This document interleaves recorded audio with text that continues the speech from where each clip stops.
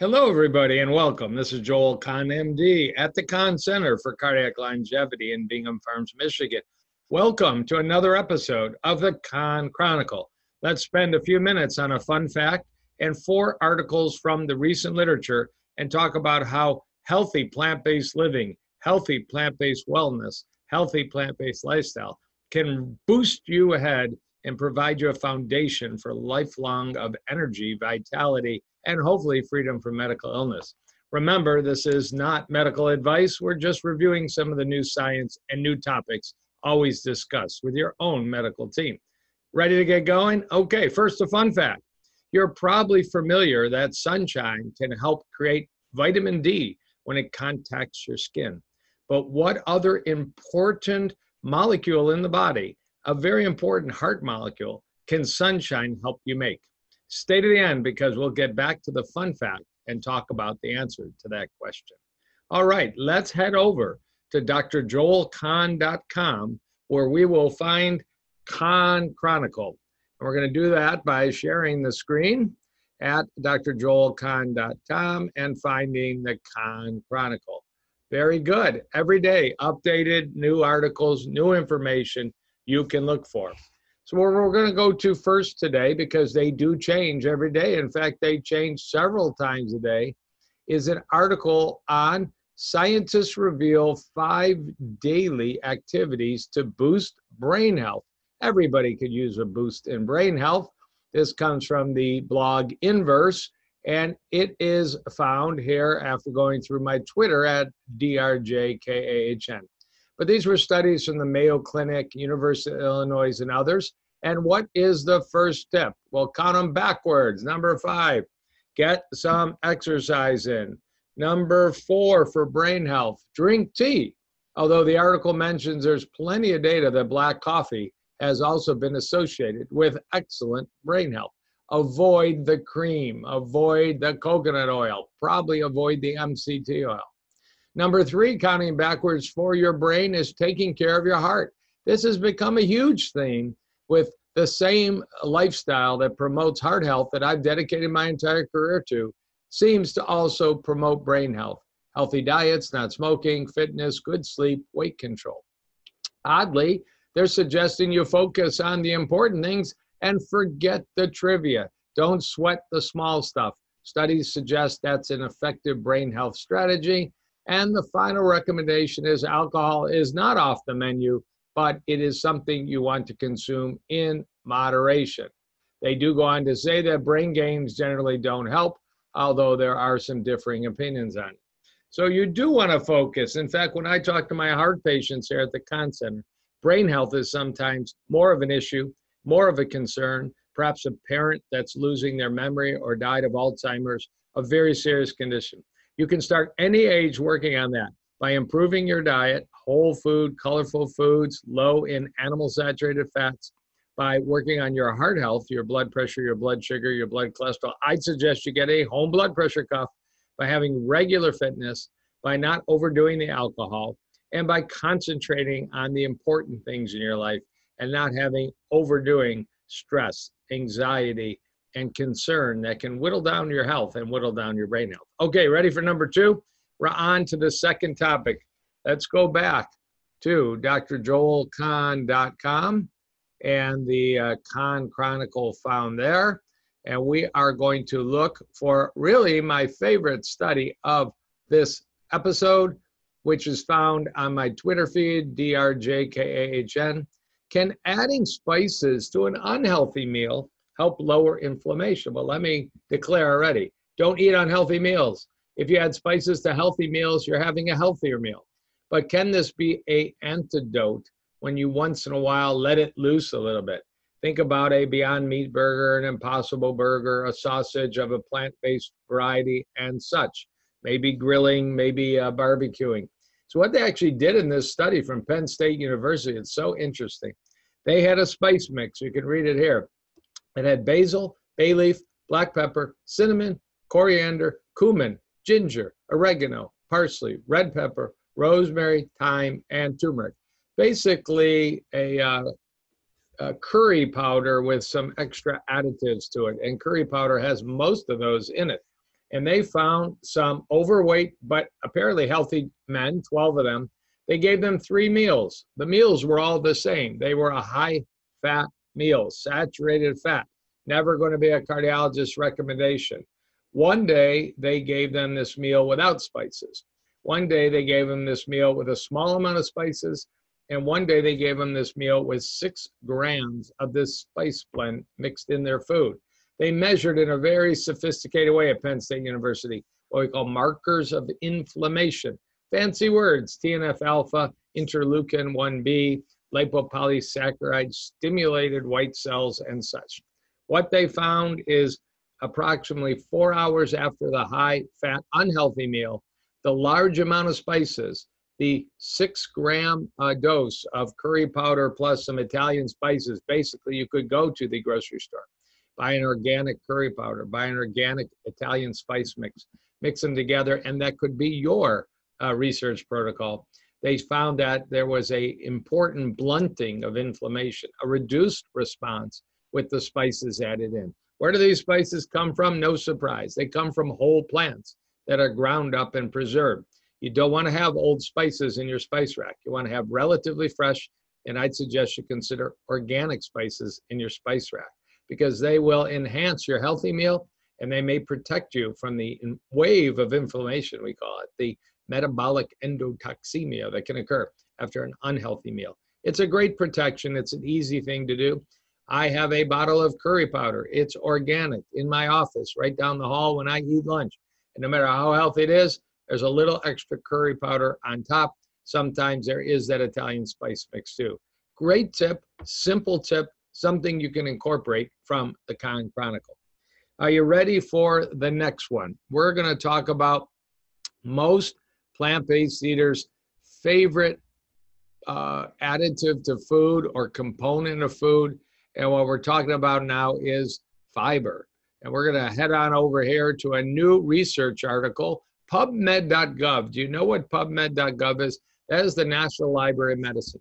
Anybody can go to PubMed.gov and put in a topic such as garlic and read all kinds of research articles. But this was just published in the Irish Medical Journal. You see the title Dietary Fiber for the Prevention of Cardiovascular Disease. We're not talking about reversal, we're talking about actual prevention.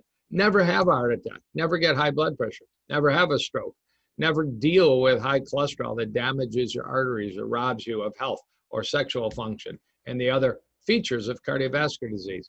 Well, indeed, it's not just spices, it's fiber too. And as you may know, uh, poultry, turkey, lamb, fish, eggs have no fiber because that's a plant derived component of food. Fibers found richly in beans and seeds and whole grains and lentils and peas and fruits and vegetables. And in this review article, they look over the entire data to say there's major implications to reduce death from heart disease, events from heart disease, uh, stents and bypass by stressing over and over fiber, fiber, fiber in your diet. You don't necessarily have to run out and get psyllium husk. A lot of people do add that powder as their approach to getting more fiber. You can do it with fruits and vegetables. Even an avocado has a surprisingly large amount of fiber. You might say that's a rather soft fruit, and it is a fruit, but it has a very substantial amount of fiber that we should all, you know, grab onto and enjoy. So you get the message, and you can never wear out the message of too much fiber because it is indeed such an important message to keep in your life, to keep in your daily habits. All right? So, what's a takeaway point from this study?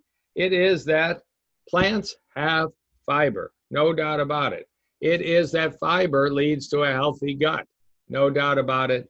And finally, it is that fiber can reduce your risk of heart disease. That's the takeaway point from study number three at the Kahn Chronicle. Well, we got one more to go, and don't forget the fun fact. So hang on with me here as we talk about tips you can use in your life. And maybe you're challenged by feeling some inflammation. Maybe you're challenged by some weight. Maybe you just want to support a healthier life, a healthier longevity plan. Well, what can you do? And the buzzword from study number four is fasting mimicking diet. What do you mean fasting mimicking diet? Either you're fasting or you're not. Well, it turns out a very bright researcher at University of Southern California, Dr. Walter Longo, did 20 years plus of research in animals and then humans. If you completely stop eating and drink only water, something called a water fast, you can see at the end of a few days some restorative, rejuvenative responses, something called inducing autophagy, or the body's ability to repair and heal damaged cells or create new, younger cells that have better activity. But not everybody is able or is necessarily safe to follow a water fasted diet. In fact, most should do it in a medical supervised setting, like the True North Health Center. So, if we go back for a minute to drjoelkahn.com and come over to the Kahn Chronicle button, we will see that there is indeed the genius of Dr. Valter Longo, a fasting mimicking diet. He created a plan where you can eat on the last four days 800 calories a day. On the first day, it's 1100 calories a day. And that's going to be half or 40% of your normal calorie intake. There are no sugars added to this food plan. There is very low protein in this food plan. It's relatively high in complex carbohydrates. It's relatively high. There's a box of Prolon. That's what the fasting mimicking diet is called relatively high actually in healthy whole fats from nuts uh, and seeds. And for five days in a prepackaged box produced through the work of Dr. Walter Longo with all of his proceeds going to further research on cancer and health, you can uh, reduce your calories, get a response as if you were doing a complete water fast, but you can eat every day. I've done this dozens of times over the last few years uh, for five days. It feels good. It's light. Uh, you don't necessarily, uh, you know, drink any alcohol or exercise these five days of a cleanse, but it's scientifically backed. In fact, uh, it's been used by some Hollywood actresses like Jennifer Aniston, but that's not really the main point. The main point is the research. There is a very well-known randomized study of doing this program five days in a row, once a month for three months. At the end of those five days, you go back to your healthy plant diet. And it is a plant program. There is no meat or cheese or fish in the program, um, but that, that can uh, support healthy metabolism, support healthy inflammation, help with the weight around the waist. And actually, it's patented to uh, support healthy longevity and healthy lifespan. So you should be able to see there at the Kahn Chronicle that there are plant-based soups. I see a minestrone and quinoa soup. I see a mushroom soup. I see olives. I see a breakfast bar called the L Bar, uh, which is made of nuts. So if you're nut allergic, you uh, may not do this plan. Hibiscus tea, spearmint tea, spearmint lemon tea. It's genius. So it mimics complete fasting, but allows you to have enough calories to function and work for the five days. You can uh, measure blood work before and after three months with your medical doctor if you want to, although it's not a prescription treatment. It is something you can buy from a healthcare professional and use it for those five days. You won't be doing any cooking those five days. It's an absolutely great recovery from quarantine and lockdown. It can get you motivated to upgrade your health. I use it a lot at the Kahn Center, the fasting mimicking diet Prolon, developed by Dr. Walter Longo to get people interested in plant-based eating, to get people interested in using fasting. I emphasize a lot TRE, time restricted eating. Maybe eating in a 10 hour window and not eating for 14 hours a day. I don't usually recommend to people that they have to go longer than that. I usually get 12 to 14 hours a day of not eating and usually eat within a 10 to 11 hour window or about that. That's enough to get some health benefits overnight like some uh, repair of DNA, renewal and rejuvenation of damaged parts of your body. But with Prolon, you're really taking advantage of the fact that humans that fast get some healing reparative responses. And if we eat three times a day, particularly eat over 14 to 16 hours every day, we never activate those healing pathways. We don't take advantage of our own internal renewal system. The fasting mimicking diet is something I use a lot here at the Kahn Center. So, takeaway point number one, fasting with water fasting or absolute fast, is usually best to be medically supervised. And for certain groups like type 1 diabetics, underweight uh, individuals, it's off the table. Number two, the fasting mimicking diet can give the benefits of a water fast while you eat. Uh, you can fill your stomach, but the body doesn't sense because of the low protein, low sugar. Those are the components that help not activate uh, aging pathways. And number three, it's plant based, which is a joy, but it's more substantiation that the best path for health and longevity is from plant diets. So that's the fun news from the fasting mimicking diet, the takeaway points. Let's go back as we close on the fun fact. You're aware that sunshine will help your skin produce vitamin D. And vitamin D is important in so many functions from our bones to our cardiovascular to our immune health to our brain health. But what else does sunshine help make in the skin? Are you ready? Fun fact is nitric oxide. NO, just two little molecules, NO, nitrogen and oxygen, help protect our arteries, help maintain normal blood pressure, help prevent plaque, help uh, avoid blood clotting, are very important in brain function, lung function, heart function, and the sexual response. So when you have sunshine, reasonable and responsible exposure of your body to sun is a healthy idea. Just avoid burning yourself. All right, we're wrapping it up here at the Kahn Chronicle. And thank you for visiting me at drjoelkahn.com.